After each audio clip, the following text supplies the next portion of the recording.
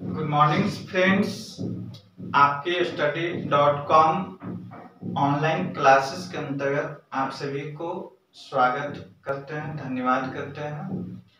आज का class current affairs के अंतर्गत एक, हाल ही में एक बिल पास हुआ है राज्यसभा में, उसके बारे में हम डिस्कस करेंगे। तो सबसे पहले हम लोग ये देखेंगे कि ये बिल जो है हाल की न्यूज़ में क्यों चर्चित है? पहले न्यूज़। तो हम दो तरीके से आज डिस्कस करेंगे, दो दो तरीके से हम देखेंगे। बाँध सुरक्षा बिल 2019 के नाम से जो है हाल ही में न्यूज़ के रूप में क्यों चर्चित रहा? इस बिल जब पास किया गया तो उसका क्या इम्पोर्टेंस है? उसके बारे में हम आज डिस्कस करेंगे। तो सबसे पहले हम ये बताएँगे कि बाल सुरक्षा विधेयक 2019 बिल जो है हाल ही में राज्यसभा में 2 दिसंबर को पास किया गया है। इस बिल पर राज्यसभा में काफ़ी चर्चा करने के बाद, काफ़ी लंबे समय तक चर्चा करने के बाद इस बिल को राज्यसभा में पास किया गया 2 दिसंबर को। हालाँकि ये जो बाँध सुरक्षा विधेयक है, इस पर केंद्र सरकार का प्राधिकार नहीं है। केंद्र सरकार का बिल नहीं ला सकते थे, क्योंकि इसका कारण है बाँध बाँध हम कह सकते हैं, बाँध या जल या सिंचाई। हम लोग जानते होंगे कि पॉलिटी के अंतर्गत बाँध, जल, सिंचाई वगैरह जो है राज सूची का विषय है, जो कि इन सब विषयों में राज्य सरकार जो है कानून बना सकती है। लेकिन कुछ परिस्थिति में आर्टिकल दो है। संविधान के अंतर्गत आर्टिकल दो सौ बावन के तहत बताया गया है कि दो या दो से अधिक राज्यों के द्वारा अगर किसी भी विषय को लेकर, राज्य के विषय को लेकर अगर विधानसभा हो या विधान परिषद हो, उस बिल को अगर पास करती है और उस बिल को जब केंद्र के द्वारा कहा जाता है कि आप इस पर कानून बनाइए तो केंद्र सरकार उस विषय पर कानून बना सकती है। तो वही यहाँ पर बात हुआ है कि जल से संबंधित जो है एक बाँध सुरक्षा विधेयक जो है, पूर्व में ही पश्चिम बंगाल और आंध्र प्रदेश दो ऐसे राज्य हैं, पश्चिम बंगाल और आंध्र प्रदेश। दो ऐसे राज्य हैं जिनके द्वारा पूर्व से ही, पहले से ही एक विधेयक, इस बाँध पर एक विधेयक लाने का प्रस्ताव केंद्र के पास भेजे थे, जो कि इसी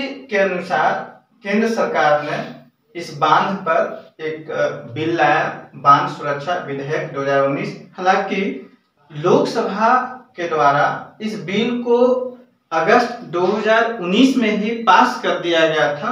राज्यसभा में ये बिल पिछले 2019 में पास नहीं हो पाया था। तो केंद्र सरकार के द्वारा इस बिल को संशोधित करते हुए इस बार 2021 में इसी नाम से राज्यसभा के द्वारा एक लंबे लंबे समय तक चर्चा करने के बाद इस बिल को पास कर दिया गया। अब जो है ये बिल अभी लोकसभा में जाएगी और राष्ट्रपति के पास साइन होने के बाद ये जो है बिल कानून के रूप में बन जाएगी।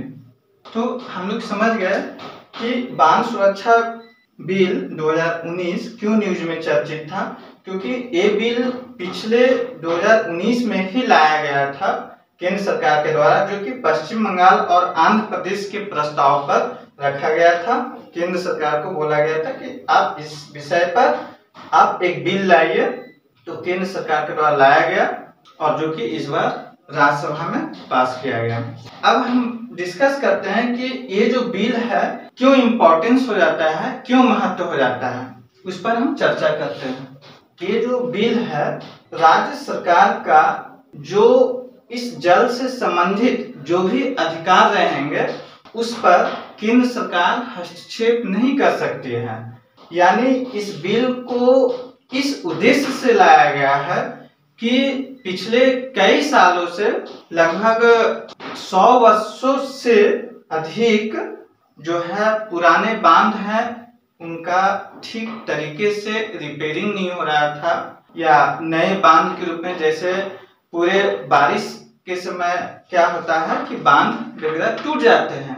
तो उसको ठीक ढंग से उसको रिपेयरिंग नहीं किया जा रहा था देख रेख नहीं किया जा रहा था तो उसके लिए ये बिल लाया गया। कहने का तात्पर्य है कि ये बिल जो है, बांधों को फिर से निर्माण करेगी, बाँध को निगरानी रखेगी रख रखाव रखेगी, निरीक्षण करेगी, संचालन मतलब समय समय पर जो है, भारत में जितने भी बाँध है, इस बिल के मदद से उसका संचालन केंद्र सरकार करते रहेगी। इसमें राज्य सरकार का जो भी इस विषय पर है, उस पर किसी भी प्रकार का हस्तक्षेप नहीं करेंगे। और एक चीज़ इसमें बताया गया है कि इस बिल में दो राष्ट्रीय निकाय के रूप में स्थापित किए गए हैं, जो कि इस बिल से संबंधित नियम, नीतियाँ बनाएँगे और उसका लागू करेंगे। दो राष्ट्रीय निकाय के रूप में है, राष्ट्रीय बाँध सुरक्षा समिति। दूसरा है राष्ट्रीय बाँध सुरक्षा प्राधिकरण। यानी इस बिल में ये भी दो प्रावधान किए गए हैं। दो राष्ट्रीय निकाय के तौर पर बनाए जाएँगे। एक पहला राष्ट्रीय बाँध सुरक्षा समिति। दूसरा है राष्ट्रीय बाँध सुरक्षा प्राधिकरण। इन दोनों का अलग अलग तरीके से काम करेंगे। यानी इस बिल के अंदर किसी भी बाँध को लेकर अगर किसी प्रकार की नीतियाँ बनानी हो या नियम बनाना हो तो कौन करेगी? राष्ट्रीय बाँध सुरक्षा समिति इसका काम करेगी। और उसी नियम या नीतियाँ को जब लागू करना रहेगा तो कौन सा निकाय करेगा? राष्ट्रीय बाँध सुरक्षा प्राधिकरण।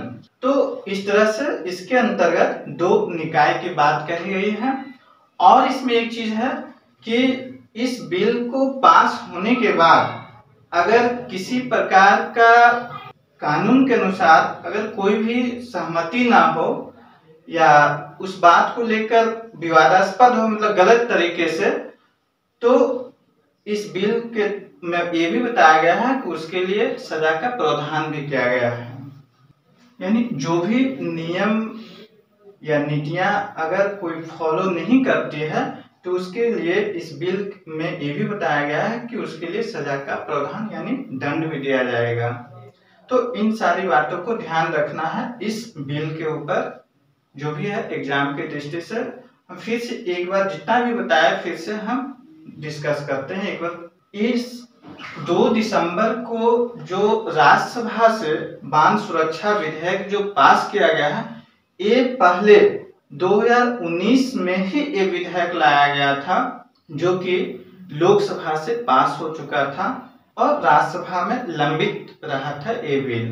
तो सरकार क्या की, हाल ही में इसको संशोधन करते हुए, इस बिल को संशोधन करते हुए फिर से इस बिल को डायरेक्ट रूप से राज्यसभा में रखी और काफ़ी लंबे समय तक चर्चा करने के बाद इस बिल को राज्यसभा में पास कर दिया गया दो दिसंबर को, और तब इसके बाद ये बिल जो है लोकसभा में जाएगी, और वहाँ से पास होने के बाद राष्ट्रपति के पास जाएगी।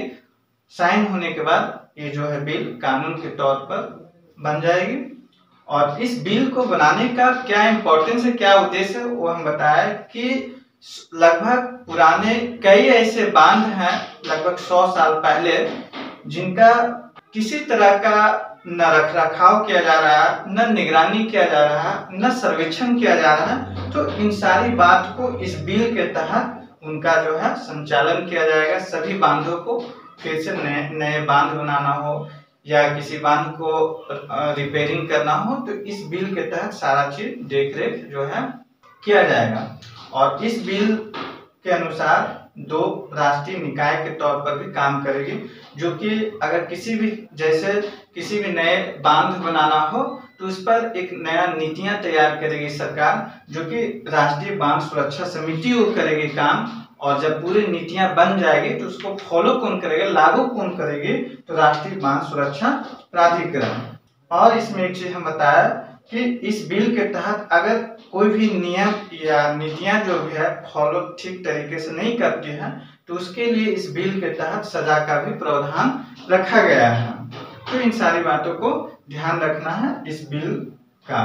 और ये भी है कि 2019 के नाम से ये जो है, बिल पास किया गया है। तो ठीक है दोस्त, इस बिल के ऊपर जो भी हम बताया, आप लोगों को समझ आ गई होगी। आज का क्लास हम यही स्टॉप करते हैं। Thank you friends